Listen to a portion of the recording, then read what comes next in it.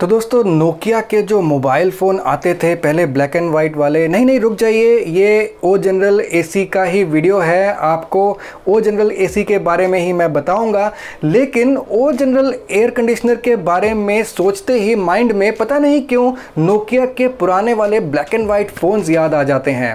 वो इसलिए क्योंकि आपका ओ जनरल या फिर कह लीजिए जनरल के जो एयर कंडीशनर्स हैं, जो आपके नोकिया के उन ब्लैक एंड वाइट फ़ोन्स की तरह हैं, जो आपके आपके छत पर से नीचे गिर जाएँ या वॉशिंग मशीन में से वो घूम जाए, उसके बाद भी सुखाने के बाद या असेंबल करने के बाद आप दोबारा यूज़ कर लेते थे। नीचे कमेंट करके बताइएगा आपके नोकिया के वो पुराने वाले फ़ोन्स के साथ क्या एक्सपीरियंस रह चुके हैं, पढ़ने में बहुत ही मज़ा आएगा। लेकिन जो जनरल के जो एयर कंडीशनर्स हैं, वो भी बिल्कुल ऐसे ही हैं। बिल्कुल रगड एयर कंडीशनर्स बिल्कुल सॉलिड और मेंटेनेंस बहुत ही कम इनकी।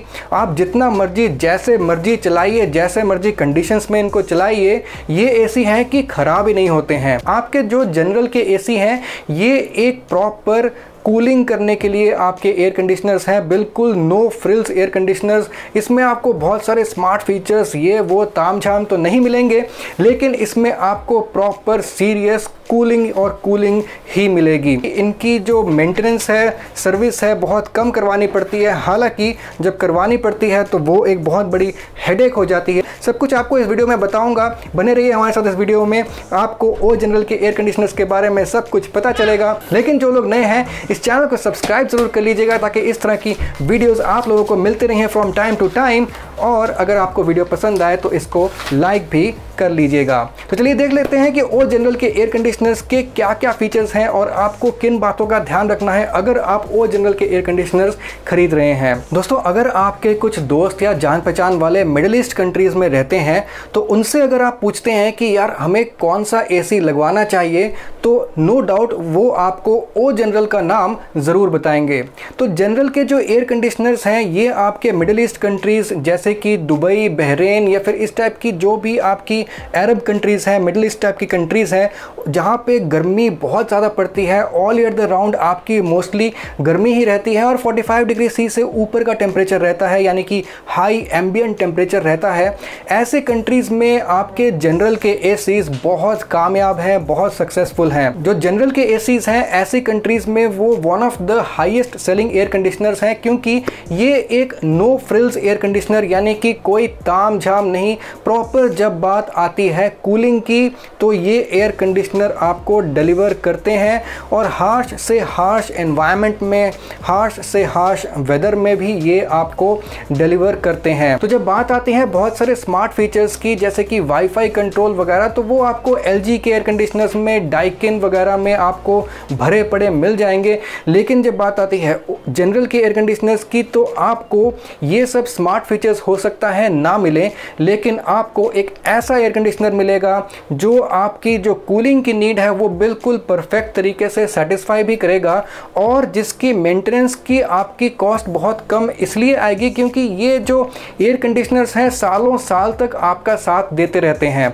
आप अगर मिडल ईस्ट कंट्रीज़ को देखें तो वहाँ पे ना सिर्फ़ बहुत ज़्यादा गर्मी रहती है, बल्कि वहाँ पे धूल भरी आंधी, धूल भरी आंधी से पता नहीं क्यों मुझे रेखा की खून भरी मांग याद आई। बट एनी धूल भरी आंधियाँ ऐसे जगहों पे चलती रहती हैं और इन धूल भरी आंधी के कारण आपके जो एयर कंडीशनर हैं, ये काफ़ी ज़्यादा डैमेज होने के चांसेस रहते हैं। स्पेशली इनके जो आउटडोर यूनिट हैं, उनकी तो भैया हालत बिल्कुल ख़राब होती है, क्योंकि ऐसे वेदर को ये आउटडोर यूनिट्स झेलती हैं और फिर सर्वाइव करती हैं। एक दो साल नहीं, बल्कि दस साल, पंद्रह साल तक ये एयर कंडीशनर्स सर्वाइव कर जाते हैं। ऐसा ही आपके ये एयर कंडीशनर्स इंडिया में भी बहुत अच्छा सर्वाइव करते हैं। इंडिया में भी इनकी परफॉर्मेंस बहुत अच्छी है।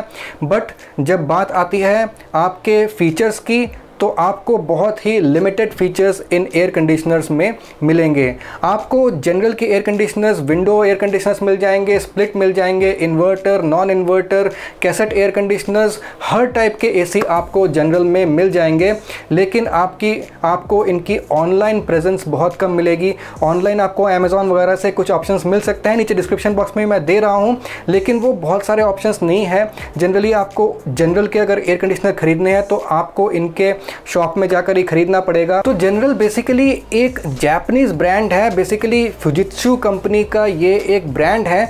और इसकी अगर आप फीचर्स की बात करें तो इसमें आपको ऐसे एयर कंडीशनर्स में मिल जाएँगे जो आपको हॉट एंड कोल्ड दोनों का एक्सपीरियंस दे सकते हैं। यानी कि गर्मियों में वो आपके रूम को चिल कर देंगे और सर्दियों में आपके रूम को वो हीटर का काम भी करेंगे। तो बेसिकली सर्दियों में क्या होता है? ये एयर कंडीशनर्स अपने एयर कंडीशनिंग साइकिल को उल्टा करके चलाते हैं ताकि आपके जो हीटिंग है, वो आपके घर के अंदर हो और ओ जनरल के एयर कंडीशनर्स में आपको एक ह्यूमन सेंसर भी मिल जाता है। यानी कि ये ये भी सेंस कर लेते हैं कि आपके रूम में कितने लोग मौजूद हैं। अगर आपके रूम में बहुत कम लोग मौजूद हैं तो ये एयर कंडीशनर उसी हिसाब से चलते हैं। अगर आपके रूम में बहुत ज़्यादा लोग मौजूद हैं, यानी कि एयर कंडीशनिंग का लोड काफ़ी ज़्यादा है तो उस हिसाब से ये ज़्यादा स्पीड में ज़्यादा लोड लेकर चलते हैं। या फिर अगर आपका रूम खाली है तो ये एयर कंडीशनर अपने लोएस्ट स्पीड में बिल्कुल पावर सेविंग मोड में ये चलते हैं। तो ये सब फीचर आपको इस एयर कंडीशनर में मिल जाएँगे। बेसिक आपको dust filter P M filter वगैरह भी आपको जो फिल्टर्स हैं, आपको इस एयर कंडीशनर में मिल जाएँगे। जो इन एयर कंडीशनर के जो जो पैनल्स होते हैं, जो इंडोर यूनिट और आउटडोर यूनिट वगैरह होता है प्रॉपर एबीएस प्लास्टिक के बने होते हैं। बहुत ही अच्छे रगड प्लास्टिक के वो बने होते हैं। और इनके जो एवापोरेटर और कंडेंसर कॉयल्स की जो डेंसिटी होती है, वो ज़्यादा होती है। प्योर कॉपर कंडेंसर कॉयल्स आपको मिलेंगे, जो कि अंदर से प्रॉपर तरीके से ग्रूव्ड भी होंगे ताकि गैस की फैलावट बहुत बढ़िया तरीके से हो और बहुत अच्छी तरीके से कूलिंग की एफिशिएंसी निकल के आए। प्लस इसके साथ ही साथ आपको कॉयल्स की जो डेंसिटी है, वो भी कंडेंसर और एवापोरेटर में दोनों में ज़्यादा मिलेगी आपको जनरल के एयर कंडीशन एयर कंडीशनर्स में। आपको जनरल के एयर कंडीशनर्स में आपको dual rotary twin cylinder compressors मिल जाते हैं, जो कि दो सिलेंडर वाले कंप्रेसर होते हैं और डुअल रोटरी कंप्रेसर होते हैं।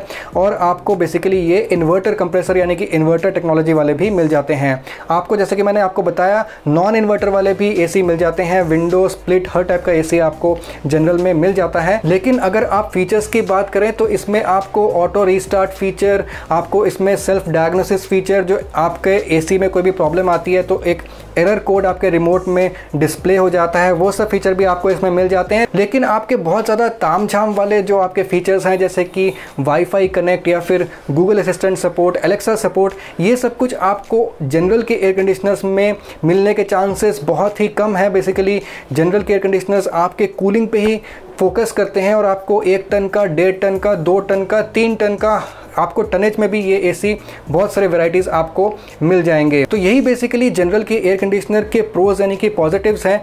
अब हम आ जाते हैं इन एयर कंडीशनर्स की कॉन्स की तरफ़, यानी कि नेगेटिव्स की तरफ़। दोस्तों नेगेटिव्स में भी इन एयर कंडीशनर्स में कुछ बहुत ही बड़े बड़े नेगेटिव्स हैं। अगर ये air conditioners as a machine perfect हैं आपके कूलिंग सोल्यूशन के लिए तो एक बहुत बड़ी प्रॉब्लम ये है कि इनकी सर्विस बहुत ही ख़राब है। इनकी कस्टमर सेटिस्फैक्शन इनकी जो कस्टमर सपोर्ट है, वो बहुत ही ख़राब है। आपको मैक्सिमम रिव्यूज़ आप ऑनलाइन देख लीजिए, या फिर आपके अगर कुछ फ्रेंड्स वगैरह हैं, उनसे आप पता भी करेंगे तो आपको ओ जनरल के एयर कंडीशनर की हर कोई यही बताएगा कि सर्विस की क्वालिटी बहुत ख़राब है।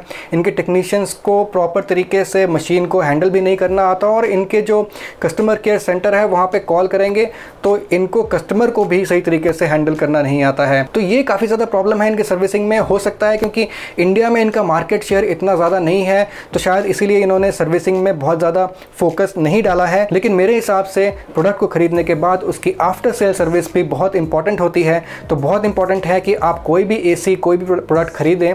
आप ये ज़रूर ध्यान रखें कि इसकी आफ्टर सेल सर्विस कैसी है।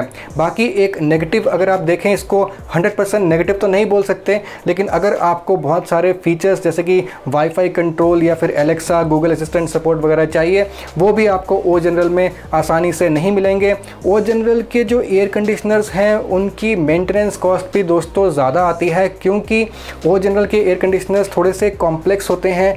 इनकी जब भी आप सर्विसिंग वगैरह करवाते हैं तो आपकी जो कॉस्ट है, वो ज़्यादा आती है। हालाँकि आपको बहुत ज़्यादा इनकी मेंटेनेंस की ज़रूरत नहीं पड़ती, लेकिन एक मशीन है, कभी भी ख़राब हो सकती है। तो इसीलिए मेंटेनेंस की ज़रूरत जब भी आपको पड़ेगी तो आपका खर्चा थोड़ा सा एक्स्ट्रा होने वाला है। तो इस चीज़ का आप ध्यान रखिए एज अ मशीन बहुत ही अच्छे हैं ये, लेकिन सर्विस की इनकी कुछ प्रॉब्लम्स हैं मार्केट में। तो अगर आपके पास एक अच्छा टेक्नीशियन है जो आपके एसी का सही ख्याल रख सकता है तो आप इस टाइप का एसी कंसिडर कर सकते हैं। लेकिन ध्यान दीजिएगा कि आप अगर बाहर के टेक्नीशियन से अपने एसी को ठीक कराते हैं तो वारंटी पीरियड के अंदर आप ये ना ही कराइए, क्योंकि आपकी वारंटी उससे वॉइड हो सकती है। तो कैसा लगा आपको आज का एपिसोड नीचे कमेंट करके ज़रूर बताइएगा। अगर आपको वीडियो पसंद आए तो उसको लाइक और शेयर ज़रूर कर दीजिएगा। मिलते हैं अगले एपिसोड में किसी नए प्रोडक्ट के साथ या फिर किसी नए कंपेरिजन के साथ। तब तक के लिए सुदीप साइनिंग ऑफ़